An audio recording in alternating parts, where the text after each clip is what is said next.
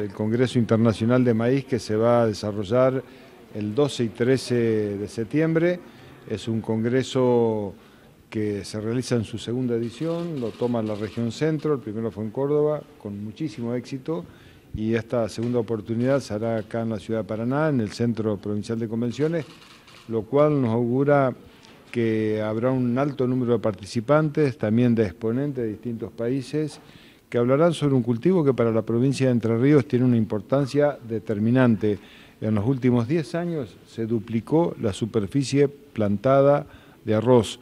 Eh, para esta campaña se espera 510.000 hectáreas en Entre Ríos plantadas con arroz.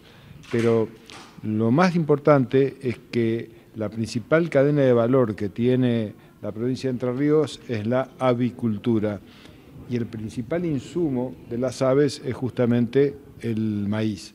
Eh, por eso es que Entre Ríos no le alcanza, a pesar de que duplicó eh, la superficie plantada, para poder alimentar lo que insume la cadena de avicultura y también la cadena porcina que viene creciendo eh, sostenidamente. Por eso es necesario incrementar esta superficie plantada, poder tener el autoabastecimiento y por ende la reducción de costo para la industria tanto avícola como porcina y por otro lado también que nos permita de algún modo tener un cultivo que sea sostenido en el tiempo. De ahí la importancia de poder tener estas jornadas, este congreso, el 2 y 13 de septiembre en la ciudad de Paraná y por supuesto también invitar a, todos quienes tienen interés en participar de estas jornadas que es muy importante para poder encontrar allí respuestas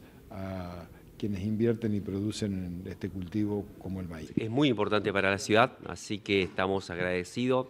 Se trabajó para que se haga concretamente en Paraná es un congreso internacional, eso implica que van a venir personas de distintos lugares del país y del exterior a exponer, a participar, eso genera movimiento económico, gastronómico, hotelero. Y también nos interesa mucho que se desarrolle este cultivo para que la provincia de Entre Ríos logre el punto de equilibrio. Eh, se necesitan plantar 100.000 hectáreas más y en la Argentina 10 millones de hectáreas. Ese es el objetivo.